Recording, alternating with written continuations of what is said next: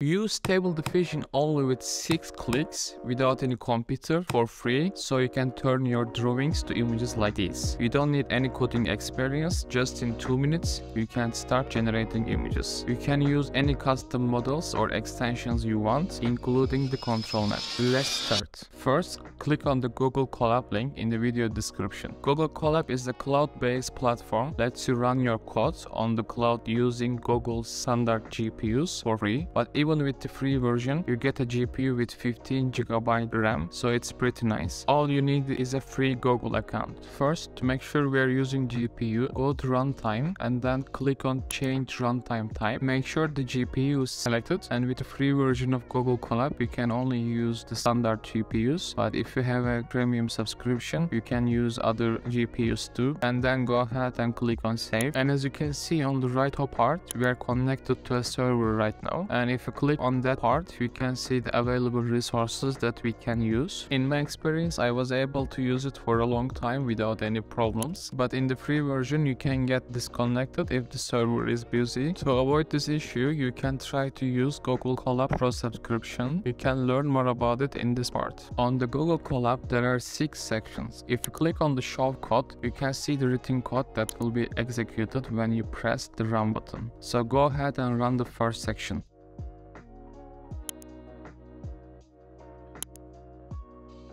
It will ask permission to access your Google Drive because it will save the stable diffusion file there.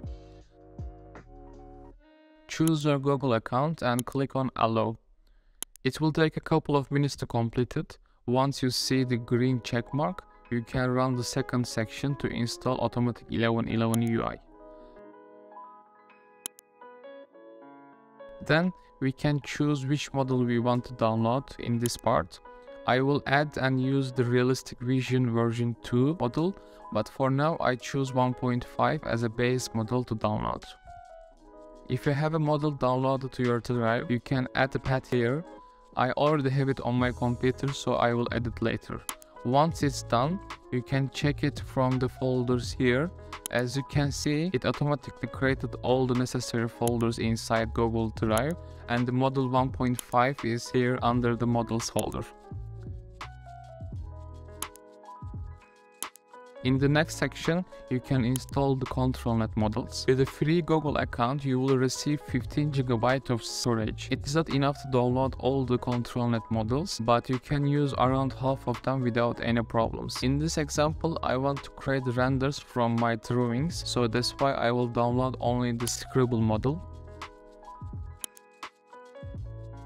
Now you can run the last section and actually run the stable diffusion. If you want, you can also add a username and a password to your interface, but I won't do it now. Once you have this URL, just open it and stable diffusion is ready to use.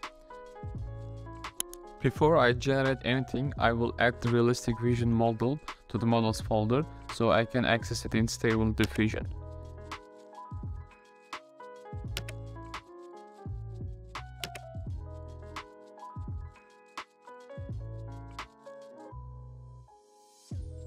Once it is uploaded, I will restart the UI and it will generate a new URL for us. Open it and you can see our model is ready to use here.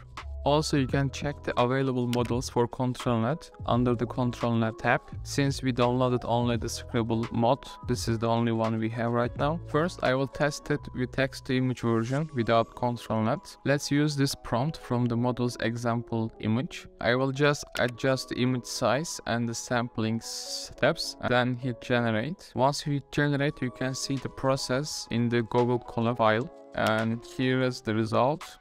Now let's test it with ControlNet enable. I will use one of the Hadid's drawing and try to create a realistic render using this initial drawing.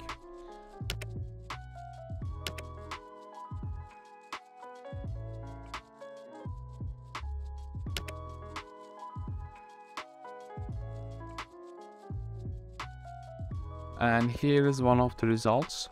All of the images you can generate are saved to the same Google Drive folder. You can find them here under the Outputs folder. And here are some of the results from the same drawing. I mainly use the same text input just change the time of the day to create different images with different feelings.